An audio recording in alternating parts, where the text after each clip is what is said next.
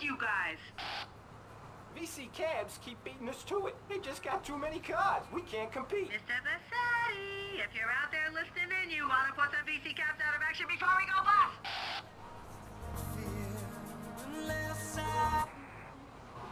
Roller coaster rides, and what's the deal? You pay half price of the movie? No comment. Next caller. Oh my god, trauma! I meant that that's my line. I'm supposed to say that. Oh god, this guy is such a dick. Oh, next caller. Oh, oh, who's on the line? I mean, who's on the line? Oh, what number is it? Who, who's on the line? Hello, Claude. This is Morgan.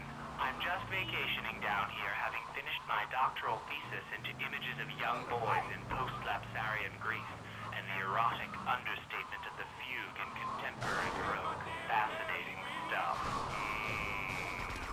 Do you have a question? I'm confused. No, woman. I just wanted to tell Claude about my thesis and discuss his bleaker Death in Venice Street period. Of course I have a question, you silly girl. Claude, I saw robots. Big fan, and that's praise indeed coming from me. I normally hate anything humanity has achieved since 1836. But one thing fascinated me. Claude, about the show. The pants. They were so tight, so fitted. How do you get such a marvelous, close, sequin figure hugging fit and still? Hmm?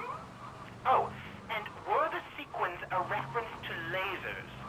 Yes, yes. My, my, I agree. Thanks for calling. That is an important question. You see, I'm an important person, and I especially think so.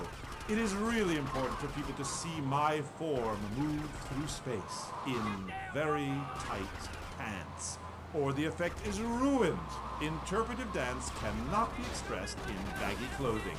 It's like a violin parade. Otherwise, why have a love story with a manatee and the lasers? It's very important. You're kind of creepy. You're nothing like you are on the show. You're so funny there, joking with the.